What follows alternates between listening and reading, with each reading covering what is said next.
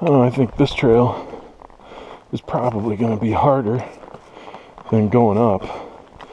I just finished a nice long um, straight stretch that was also uh, had some uphill and I was able to move about three times faster than I am now. felt good with the pack. Made some adjustments to it. It's closer to my hips. I've got it riding up higher now, all that weight sitting on my hips and was pulling on my uh, like my collarbone and all those muscles up on top of your shoulders.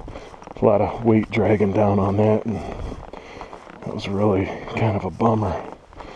So I fixed the pack. I feel a lot better. It takes a little time to get into a groove out here. You think it's going to be one way, and it ends up being another, and you just got to make adjustments as you go.